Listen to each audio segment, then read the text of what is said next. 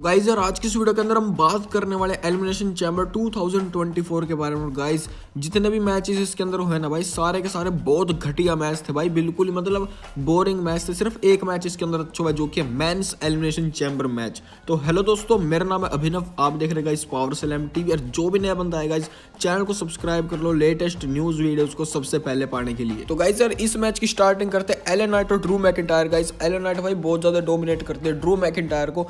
मतलब यार उनके हेड को 20-25 बार पटक पटक के मारा उन्होंने केज के अंदर। फिर गाइज़ यहाँ पर एंट्री होते हमारे बॉबी लैशली की। भाई बॉबी लैशली ने आते हर्ट लॉक में फंसा दिया ड्रू मैकेटायर को।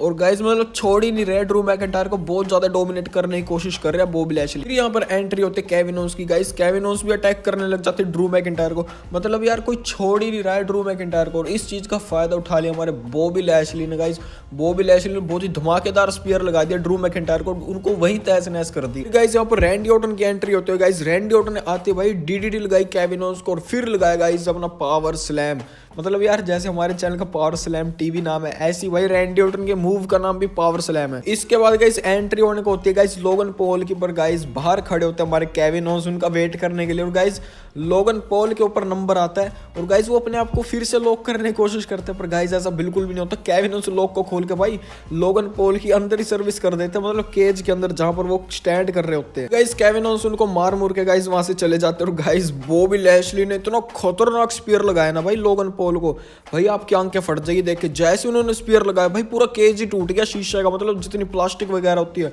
वो सारी टूट फूट गई और गाइज़ लोगन पोल और बोबिल अंदर खिंडे पड़े हैं भाई। फिर गाइज़ जैसे तैसे करके भाई बोबिल लैशली खड़े होते और गाइस यहाँ पर फिर गाइस ड्रू मैकिंटायर उनको क्लेम और किक हिट कर देते और गाइस बॉबी लैशली इस मैच से हो जाते हैं बाहर। और फिर गाइस हमको यहाँ पर एक शॉकिंग चीज़ देखने को मिलती है। गाइस यहाँ पर ए जे स्टाइल्स आ जाते हैं। भाई, पता नहीं कहाँ से आ जाते हैं वो एलिमिनेशन चैम्बर के अंदर।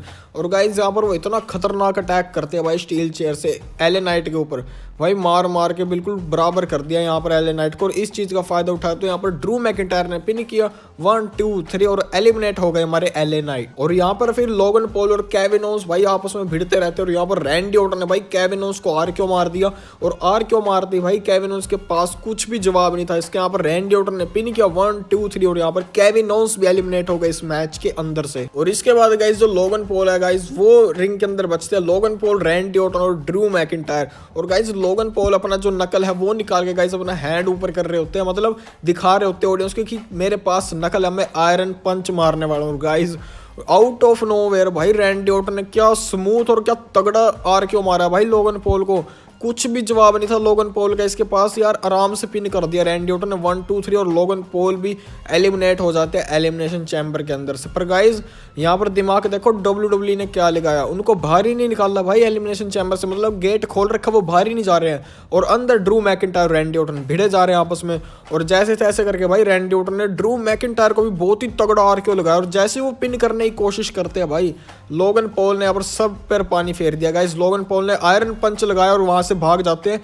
और इस चीज़ का भाई बड़ा ही गंदे वाला फ़ायदा उठाया ड्रू मैकिटायर ने। सिंपली कवर किया वन टू थ्री और गाइस ड्रू मैकिटायर जीत गए एलिमिनेशन चैम्बर 2024 और गाइस ये देखो यार ड्रू मैकिटायर ने सिर्फ़ एक बंदे को पिन किया क्लेम और लगा के मतलब अपनी मेहनत से। बाकी सारे बंदे उनके आगे आगे आराम से लेट के और ड्रू मैकिटायर ने उनको पिन कर दिया। गाइस इसके बाद ही मैच ऑफिशियल हो गया Drew McIntyre versus Seth Rollins for world heavyweight championship match at WrestleMania 40 guys इस मैच के अंदर भाई बहुत ही तगड़े तगड़े एलिमेंट होने वाले तो गाइस इस मैच से रिलेटेड भी वीडियो आने वाली है। कौन विनर्स होगा, कैसी स्टोरी लाइन होगी तो अब मेरे चैनल को सब्सक्राइब कर लो। ऐसी लेटेस्ट वीडियोस को पाने के लिए मिलते हैं आपको गाइस कल नेक्स्ट वीडियो के अंदर।